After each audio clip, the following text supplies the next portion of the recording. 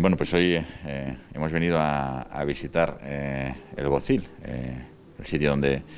se manejan todas las publicaciones oficiales, todas las notificaciones, todas las órdenes y todas las leyes que se publican en la Comunidad de Castilla y León. Y hemos venido básicamente a darles las gracias por el inmenso trabajo que han hecho a lo largo de este último año. Es un, ha sido un año muy especial para todos, también para los funcionarios y para los trabajadores eh, del BOCIL que han visto cómo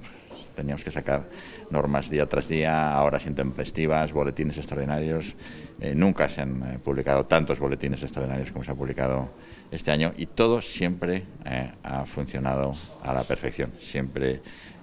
sin ninguna queja, siempre sin ningún problema, fuera a la hora que fuera. Y la verdad es que estamos muy orgullosos del trabajo de toda la Administración Pública, pero también muy especialmente